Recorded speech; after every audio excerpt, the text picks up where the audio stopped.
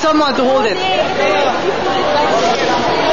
Sino? I have it, I have it.